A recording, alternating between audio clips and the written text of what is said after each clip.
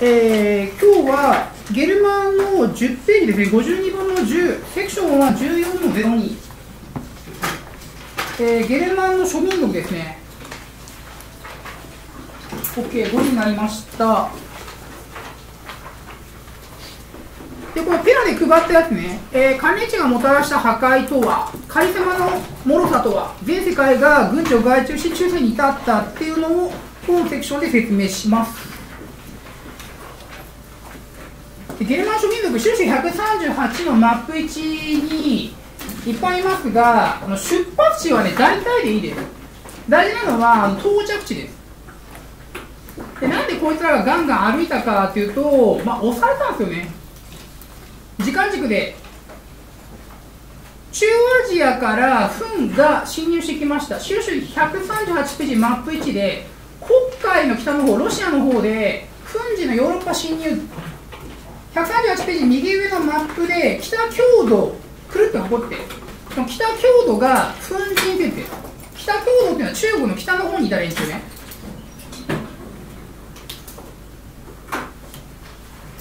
でなんでこいつらが移動したかって話をまずします。で地球の温度が下がって北の連中がただでさえ食えないのにさらに食えなくなったから移動したわけ。まず草原地帯っていうのはすごく貧しいです。1ヘクタールから生産されるカロリーは34万キロカロリーしかない。まあ羊とかヤギとかに、まあ、草をはませてそのミルクを飲んだりヨーグルトを作ったりするんですけど1ヘクタールから34万キロカロリーしかない。これどれぐらい低いかというと米を作る地域が1ヘクタール735万キロカロリーなんですよ。人口密度全然違います。あの20倍以上違うんですよ。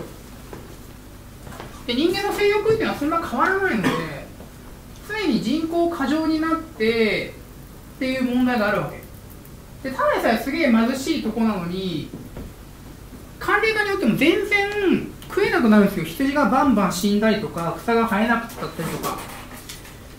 で寒冷化のダメージっていうのは地球全体で受けるんじゃなくて、えー、北の方が特にダメージを受けるわけよ。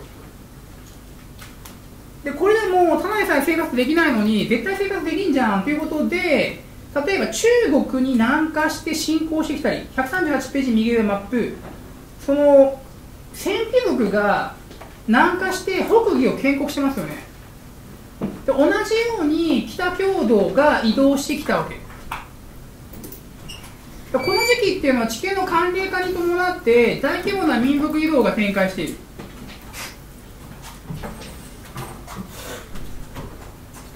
でフンが移動してきてフンが移動してきてアッテラン指導者です。これに押される形でゲルマン諸民族が移動します。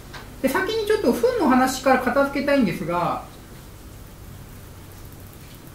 アッティラし、えー、アッティラが中心となって攻めてきてカタラウヌムの戦いでゲルマン諸民族と西ローマが迎撃に成功します。138ページマップ1カタラウヌムチェックしてパリの超東。君はイメージが湧かないかもしれませんがアジア系がここまで攻めてきたんですよ。ちなみに東から攻めてきてヨーロッパの深部にまで到達したアジア系は今やったフン族で南から上がってきてヨーロッパの深部にまで至ったのが後でやるウマイヤ朝ですね。ヨーロッパでねアジア系が及んでないところっていうのはイギリスブリテン島だけですよ。スカンジナビア半島のフィン人もアジア系だもんね。結構ねアジア系がね入ってくるんですよ。カタラウーの戦いの段階で西ローマ帝国まだあるね。でローマを略奪しようとアッティラが考えましたと。でここで略奪経済に関して話をしたいです。略奪経済って何かというとまあ殺して奪って食うっていうもんです。でこういうのをまあフン族がやったりとかゲルマン民族がやったりするわけ。え先生奪ってしまったら1回で終わっちゃうじゃないですかと。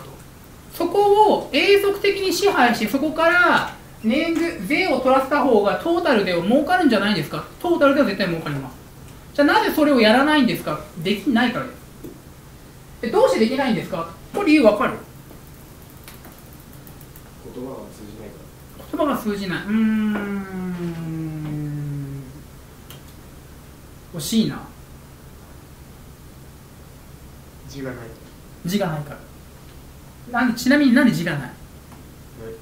税を取る必要がないもともとはね。OK すげえ貧しいところの連中っていうのは文字を持ってないんですよ。これいつも言ってるように塩種が19ページ開けてもらって右下ね。もう何度も何度も開けてる19ページの右下ね。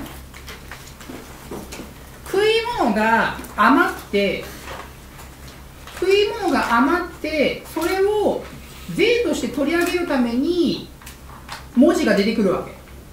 19ページ右下の余剰食料が社会科の段階で収穫って書いてる上にボードを持ってるおっさんがいますがそれ徴税官です。大事なのは食い物が余らないと文字ができない。で文字がないと徴税できないんですよ。だから草原地帯の連中とかビルマン人みたいに森林地帯の連中が腹減ったってやってきて豊かな地域を永続的に支配するっていうのは困難なんですよ。文字を持ってないから。えじゃあ先生文字を持ってるやつを使えばいいじゃないですか。それはまた後の話だね。それはカトリック教会との提携になるわけということで草原の連中とか森林の連中っていうのは南下してきて略奪経済を展開し経済秩序が破壊されるわけ。あれだけ栄えた古代ローマが滅んでしまうんですよ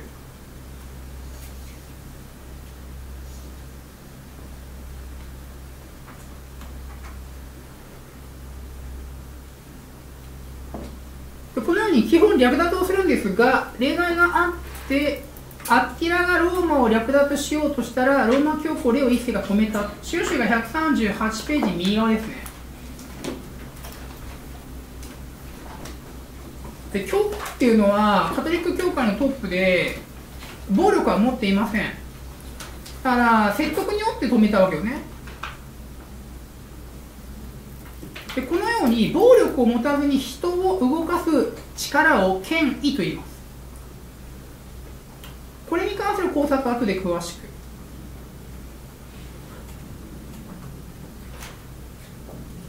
あっちらが死んだ後糞は瓦解してしまうと。A 先生こんなに強制を誇った糞がなんで瓦解するんですか？と。カリスマに頼っていたから。どういうことかというとね？この草原地帯の連中ってすげえ貧しいわけですよ。日頃から貧しいから基本的に戦が絶えないんですよ。で戦が絶えないから戦闘能力が上がるわけ。でたまにこの草原地帯をいやいやいやいや俺らさ争ってるけどさここ一つになろうやと。俺ら高い戦闘能力持ってるんだから我々が組織的になって攻め込んでいけば豊かな農耕地帯取れるじゃんって言ってカリスマを中心として攻め込んでくるわけ。でそれがアッティラだったりとかワンヤンアグダだったりとか、チンギスハンだったりするわけ。だから北方民族に関してなんでやたらにあの人命を書かせるかというとそういうことなんですよ。カリスマだからなんですよ。でなんでカリスマに頼るかというと組織がないから。仕組みがないから。ああ組織がないというかあれか。一応組織はあるっちゃうただ仕組みを限定とした組織ではない。カリスマによってまとめられているっていう組織。こう組織がない、まあ、仕組みがないはいいな。仕組みがないのは文字がないから。官僚機構っていうのは文字が必要です。米が取れるようなところっていうのは官僚性が発達します。官僚性の発達のためには当然読み書きができる連中が一定数必要です。読み書きができる連中を育成するためには相当な経済力がいります。今君らがそうでしょ？だからまあ小学校5年とか4年ぐらいから体がある程度できて肉体労働をやろうと思ったらできるけどもおそらく今日まで肉体労働してないじゃん。読み書きを教わるわけでしょ？でそれを受験世界史では読書階級の形成っていうわけ。読書階級が一定数いないと仕組み制度は作れないわけ。この農耕地帯の方はその経済力で仕組みを作って誰かが抜けてもその代わりに誰かが入ってちゃんと文書で引き継ぎができるような仕組みが転換するんだけども。今やっている草原地帯の方は食い物がないから読み書きないできないんですよ。徴税がないし読み書きないしできないし。で仕組みない状態でカリスマ中心にまとまるわけ。だからカリスマがいなくなってしまった後っていうのはすげえ脆いんですよ。瓦解してしまうわけ。その代表的なものとして風俗のアッティラがいる。まあいい質問はい。はいえっと、ギリシア文明が、えっと、食料を取れなくてで地中海交易によって食料を持ってきて栄えたっていうのがあったと思うんですけど、うん。えっと、フン族とかは交易によって食料自給とかできなかったんですか？できない。理由わかる。交易交換するものさえもないみたいな。それはある。確かに交換するものがないっていうのはあるし、えーまだこの時代シルクロードが未発達もあるし何を一番大きな理由はですねやっぱりエーゲ海がすげえ交易に適したってなるとね。船で大量に物を運べるじゃん。でエーゲ海は多島海といってたくさん島があって、まあ、どこ行っても迷わないんですよね。外洋ではないからね。だから交易がすげえできたからギリシャっていうのは穀物小麦は取れなかったけどまあえー、ガンガン略奪したわけではない。ただ一番最初同じですよけど。一番最初は中央アジアで腹減ったって言って南下してきてミケネ文明あの腹減ったって言ってクレタ文明を滅ぼしたりとかしてますから最初は同じだけどね。OK はい。他。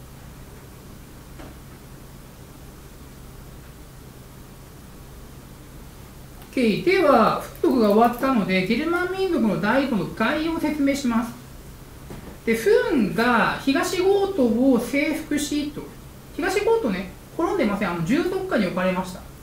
でこれにビビった西ゴート諸民族が西ゴート諸族が移動を開始したわけ。資料集が138ページマップ。黒海の西岸西ゴートチェックして。で大事なんだよね東ゴートとか西ゴートって現在のウクライナとかルーマニアとから辺なんですよ。でこんなとこにゲルマン人が昔おってたわけ。大移動を開始しました375年ゲルマン民族皆ゴリラ。375年に大移動を開始して76年に翌年にドナウ川渡りますとか。ドナウとか。ドナウ川とライン川がゲルマン諸民族とローマの国境線だったのでローマに侵入したわけよ。でローマはこれを迎え撃ちます。ゲルマン諸民族が武装して南下してくるからローマ側も迎え撃つんですが大事なのは迎え撃ったローマ側もゲルマン人の傭兵なんですよね。ゲルマン人同士で国境あたりでやり合ってるわけ。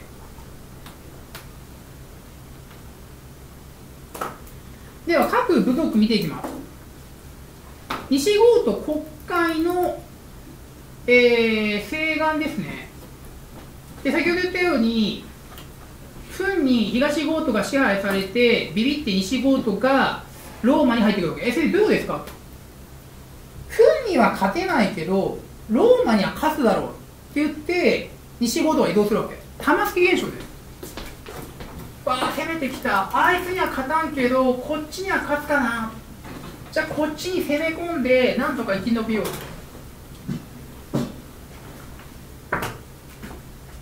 フンが西ゴートをビビらせてローマに侵入した同じようなケース何がある？玉突き現象。玉突き同じようなもの。例えば清朝がやってきて旧民勢力がどう攻め込んだ？台湾台湾オランダのゼーランディア城台湾にオランダがいたんだけどオランダで勝ってやると。真には勝てないけど。他は？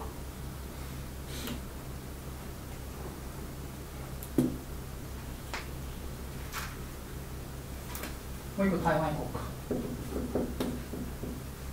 か。はい。共産党が入ってきて。共産党が入ってきた？が強くて国民党があ共産党には負けるけどもまあ台湾これ旧日本領ね旧日本領台湾。ここはまあ、えー制圧できるだろう。まあ実際制圧したわけよね。まあそれは制圧と制圧される側が本省人と外省人の対立なんだよね。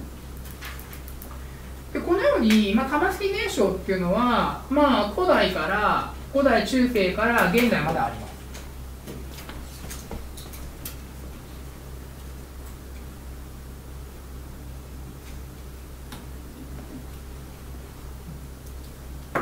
移動します。で移動はこれ軍事を伴う移動ですから軍事行動ですから当然指揮命令系での一元化が必要になってきて指導者必要になってきます。で草原地帯と同じようにもともと森の中ですげえ貧しい状態でギャーギャーやってた連中なのでカリスマを中心にまとまるわけよね。だからゲルマン諸民族のカリスマを覚えないかんわけアラリック。まあ、東ゴールドテオドリックでなんたらリックって名前はねこれ太郎くんって意味です。男の子って意味です。荒太郎テオ太郎。アラリックはローマの地位略奪しと。ああ。ローマ教皇レオ一世が止めた神の都ローマを略奪しやがった。で歩いて歩いてえー歩きまくって最終的にイベリア半島で西ゴート王国を建国。え先生西ゴート王国を建国ってどういうことですか？それまで略奪経済状態は歩いて奪って食って歩いて奪って食ってってやってたんやけど最終的にはイベリア半島現在のスペインに落ち着きましたよ。そこで税金取ることにして動かないようになったわけ。それが西ゴート王国の建国と。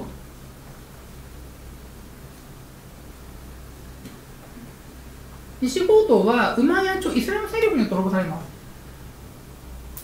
初学者はイメージが湧かないかもしれませんがスペインポルトガルイベリア半島に関しては実はイスラム勢力がねまあ500年前までね支配してたんですよね。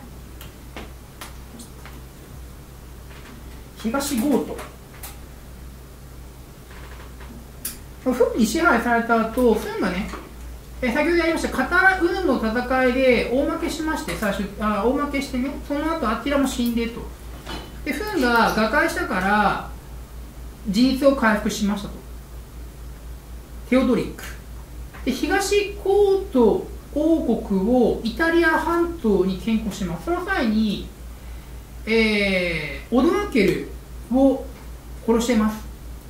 オドアケルというのは先ほどやりましたあのー西ローマ帝国のゲルマン人傭兵隊長なんですが彼自身がですね後西ローマを滅ぼしてしまってオドアケル王国で作っとったんや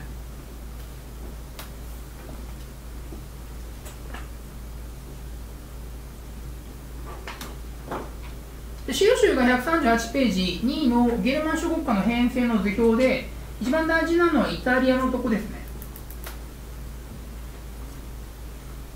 西ローマの後に一瞬オドアケル王国があってまた東ゴートですね。テオドリックがオドアケルを殺してと。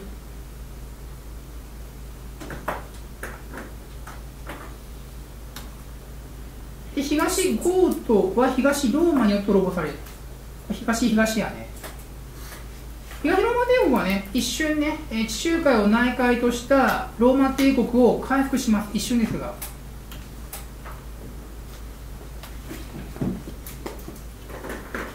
さあここでオドアケルが説明小田家の説明が終わったので配った補助プリントの全世界が軍事を外注し中世に至ったと話をします。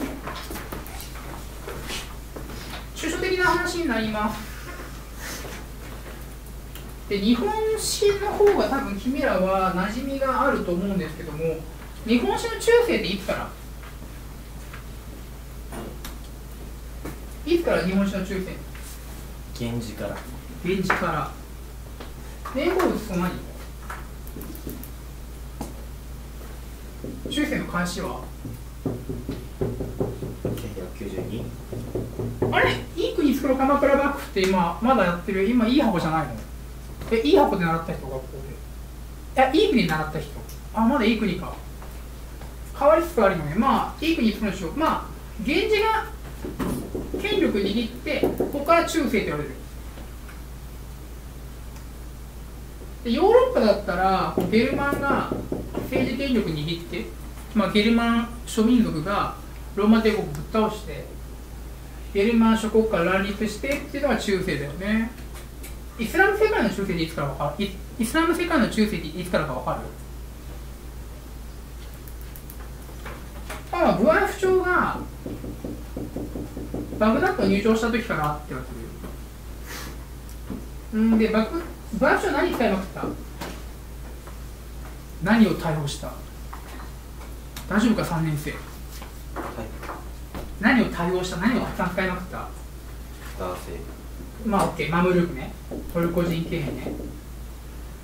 でここで確認したいんだけどこの源氏とゲルマンとマムルークの共通性って何ですか？戦闘集団。戦闘集団。武装組織ね。で中世ってどういう時代ですかというと武士の時代なんですよ。戦士階級が力を持ってる時代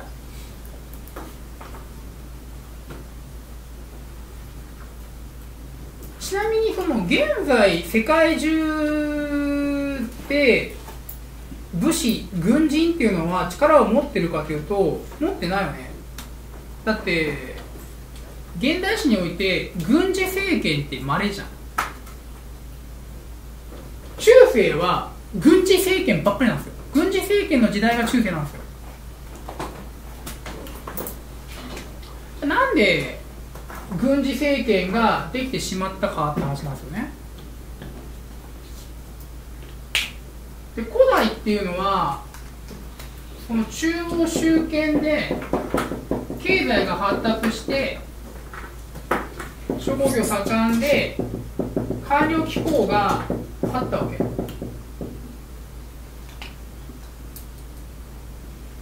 ところがねその経済が発達して贅沢を覚えてくるときつい汚い危険みたいな三権みたいな仕事をしたくなくなるんですよ。具体的には軍事をアウトソーシングするわけ。大和朝廷もそうでもうスポーツといえばもう蹴鞠ぐらいしかやらなくなってもうもう戦はさあの野蛮人のさ源氏とかあいさんに任せりゃいいじゃんって言って武装集団に頼るわけですよ。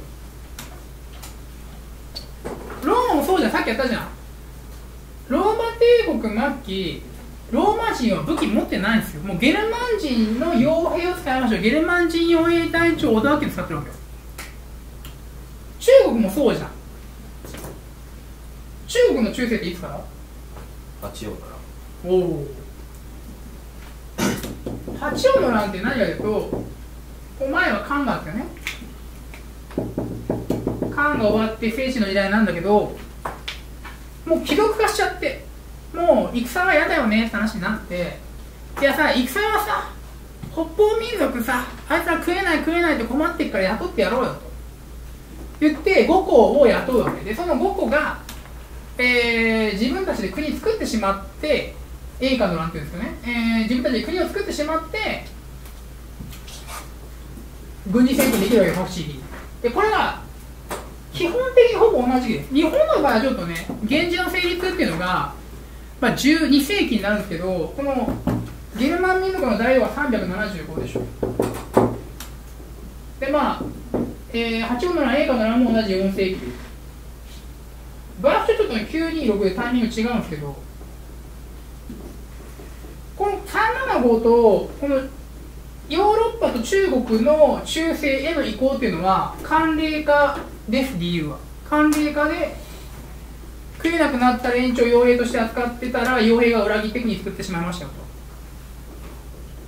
と。でタイミング若干タイミングまあ日本とイスラムとヨーロッパ中国とはタイミングずれますが共通しているのは軍事をアウトソーシングすることによってその軍人が裏切って軍事政権使っ作っちゃうと。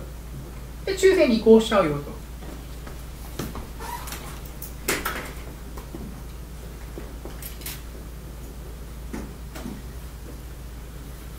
だ外注してはいけないね仕事っていうのはあるんですよ。まあ質問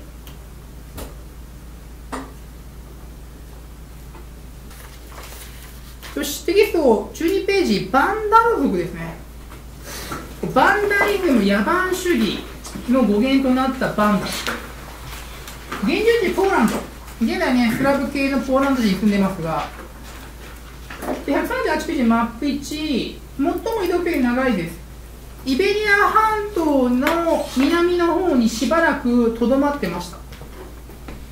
でこのままジブラルタル海峡を越えてアフリカに行くか行かないかで悩んでしばらく待っとったんよしばらくここにおったんよ結果このイベリア半島の南端部分にしばらくいたのでバンダル族がそれからこの地域はアンダルシア地方。アンダルシアの思い出っていう作品ありますけどもそのアンダルシアね。でヒップ包囲戦白州が138ページマップ1北アフリカにバンダル王国ありますね。ゲルマン人ここまで歩くんです。でヒップという町を包囲している最中にアーグスティヌスが神の国を表す。でアーグスティヌスっていうのはさっきもちょっと出てきましたけどゲルマン諸民族が略奪暴行を繰り返すわけ。であいつらぶち殺していいと。キリスト教っていうのは本来暴力を振るわないと。で言葉が違えども格好が違えども神の栄光は伝わるはずだっていうコスモポリタニズム的な発想を持つんですがいや異教徒に関してはもう殺していい。でこういった考え方っていうのが中世何々の根拠になるわけ？十字軍。の根拠になるわけ。十字軍でさ異教徒殺していい話なんじゃんこれアーグスティヌスの影響でかいです。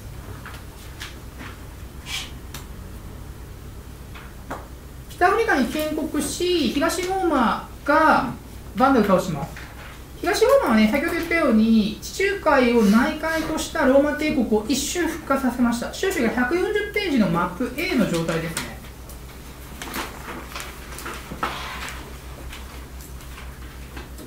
まあ一瞬ですよね。でそこで確認したいのがバンダル討たれてますね。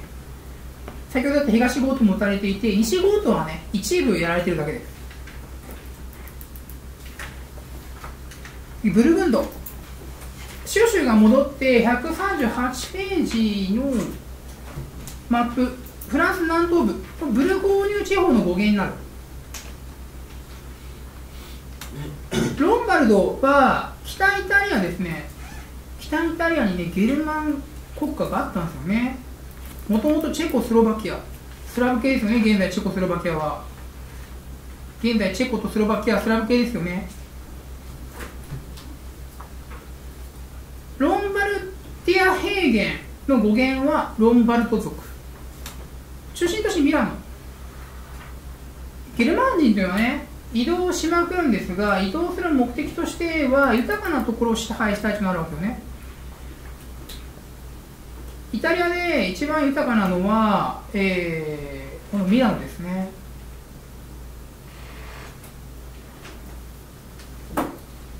ラベンナに関しては後で詳しく。移動距離が最も短くて体力の消耗が少なかったと言われているのがフランク族フランスの語源となった。少子が138ページマップ1移動距離短いです。ラインが渡っただけ。ラインが渡っただけと簡単に言いましたがこれはねもう受験世界史でねこれがいろいろ関連してくるわけですよ。資料集かページ飛びを253ページ。253ページのマップ7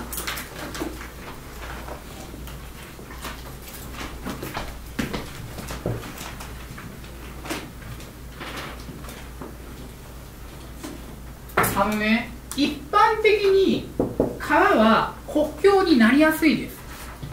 川があったら渡るのにやっぱ手間かかるから川の向こう側と手前側では違う言語とか違う国とかっていうのは多いんですよ。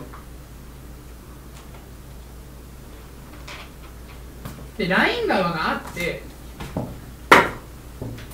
ライン川の西の方はローマだったわけ。よライン川の東北東の方はゲルマン植族だったんよところが今言ったゲルマン民族の大移動でフランク族の移動でライン川の西の方にゲルマン植族が展開してと。でそれが253ページマップ7の状態になるわ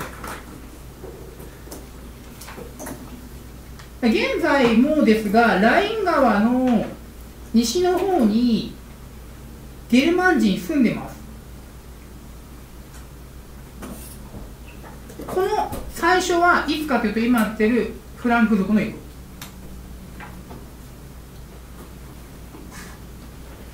そんでこれってよろしくないんですよ。よろしくないっていうのはフランスからするとこ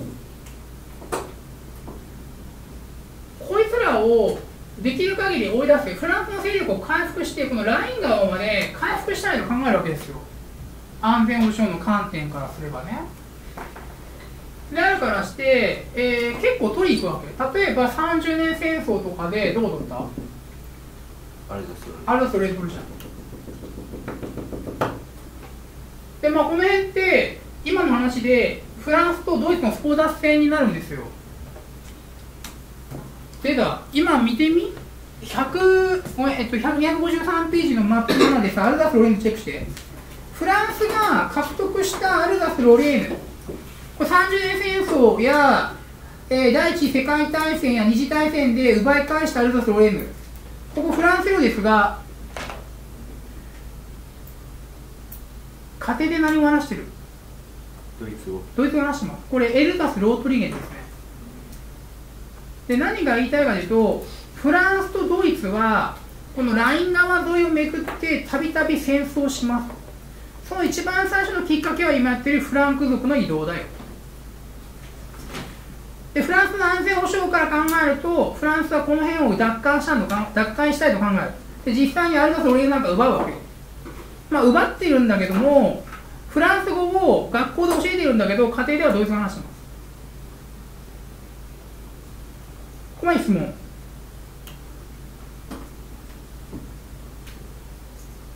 ちなみにフランスがここまで回復したせ回復したのは戦争。違う。複数戦争あるとレードがここまでよ。ライン川よりも東北東の方までフランスの影響が及んだのよラインドームラインドーベルラインドーベル決定これはフランスの安全保障マークスの時だね。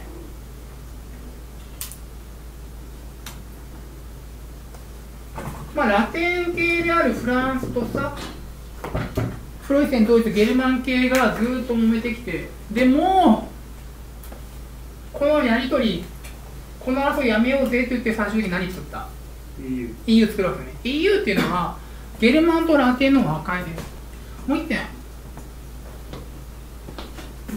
EU ってさ EU ってドイツとフランスがさ同じ国になろうねって話でしょ？EU っていうのはヨーロッパユニオンでヨーロッパ連邦で連邦国家を作るわけ国が連なって国を作る。だからアメリカ合衆国みたいな感じですよ。マサチューセッツ州とカリフォルニア州が一つになってアメリカ合衆国を作るようなものをフランスとドイツがやろうとしてるわけでフランスとドイツがそんなことできるのかと。もともと違う国なのに一つになれるのかというと結論言うとなろうと思ったらなれる。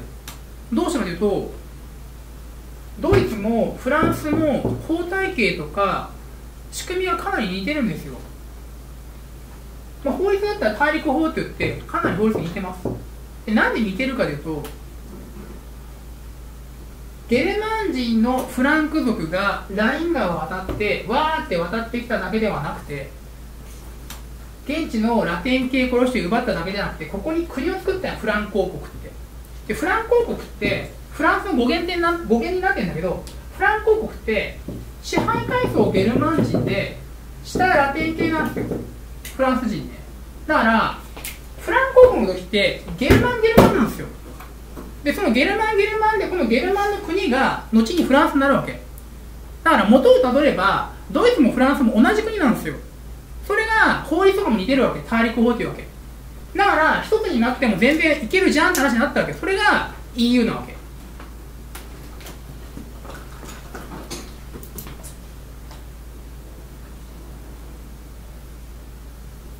怖い質問。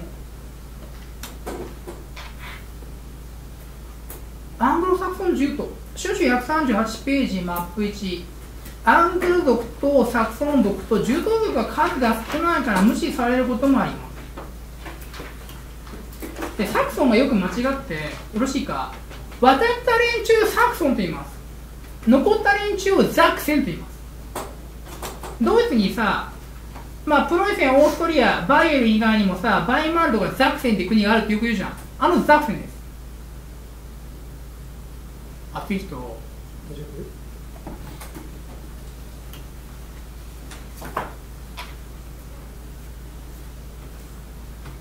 アングロサクソン族が渡ってブリテン島の南東部を支配しましたと。でその段階で7つの国があったんだけどそのうちの一つがイングランド。ですアングル族の国アングルランドイングランド。今日のイギリス UK の原型作ったのはエブベルト。